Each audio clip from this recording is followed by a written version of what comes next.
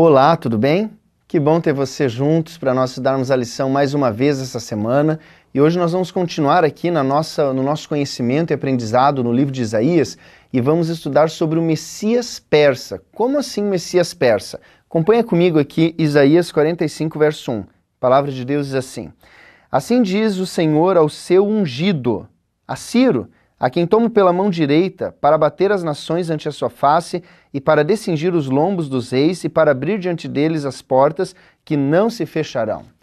E a profecia depois continua com mais alguns detalhes. Esse texto ele é muito interessante e essa profecia também ela é significativa dentro das profecias de Isaías e das profecias de toda a Bíblia. Por quê?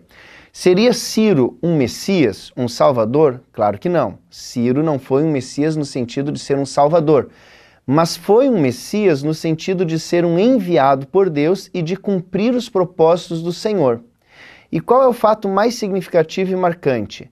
A morte do profeta Isaías, ela aconteceu 146 anos antes do ano 539 antes de Cristo, que foi o ano em que Ciro, liderando o exército persa, dominou Babilônia e fez a mudança de período e a mudança de dinastia dominadora do mundo de Babilônia para Pérsia ou para Medo-Pérsia. E isso aconteceu através das mãos de Ciro. E o profeta Isaías recebeu antes, 146 anos antes de acontecer, todas as informações e inclusive o nome de Ciro. Ora, Ciro não era nem nascido, mas a profecia já estava ali dada. E isso serve para nos mostrar de que a palavra de Deus é algo muito preciso. As profecias de Deus, elas são muito precisas.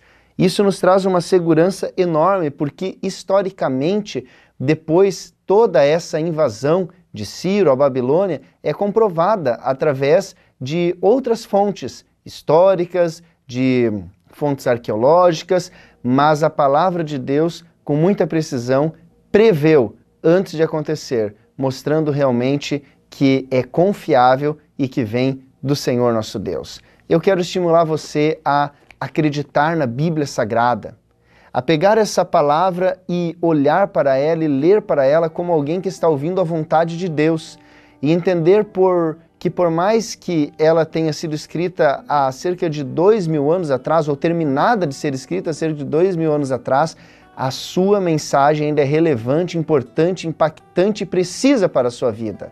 Confie em Deus, siga a sua palavra e eu tenho certeza que você vai andar num caminho do qual você não vai se arrepender. Vamos orar?